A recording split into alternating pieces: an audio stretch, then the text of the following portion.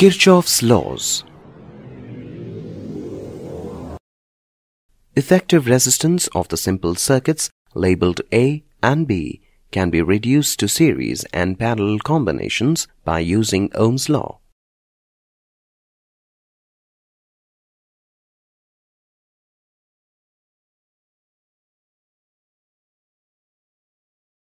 But Ohm's law cannot be used to solve complicated bridge circuits having more than one source of EMF.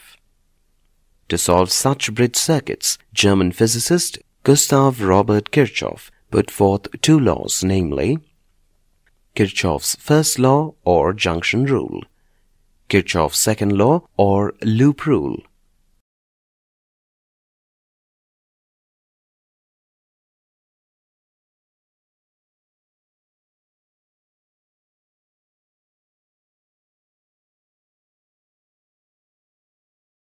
Bridge circuits terminology junction a junction in a circuit is a point where three or more conductors meet.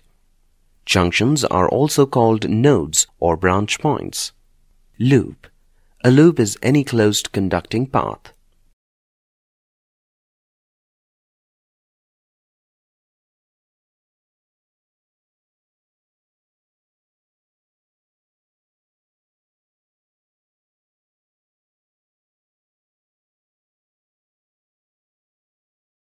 Kirchhoff's first law.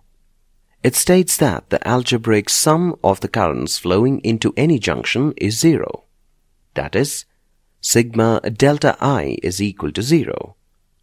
Consider a circuit having five current elements meeting at a point O with currents I1, I2, I3, I4, and I5.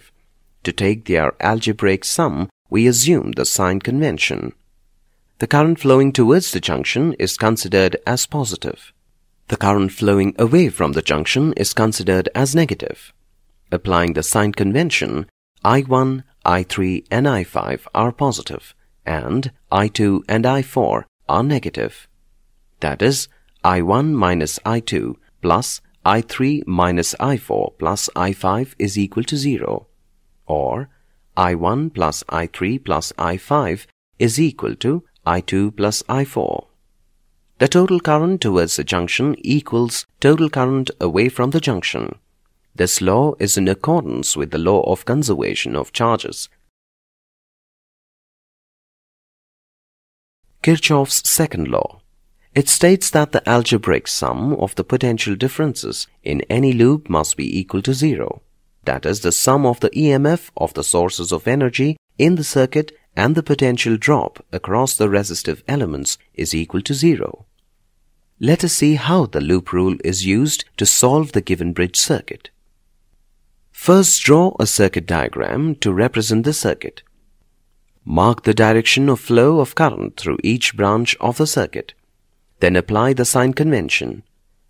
According to the sign convention, the EMF of the source is taken as negative if we move from the positive terminal to the negative terminal and the EMF is considered to be positive if we move from the negative terminal to the positive terminal. The potential drop across any resistor is taken as positive if we move in the direction opposite to the direction of flow of current and vice versa. Consider the circuit shown here.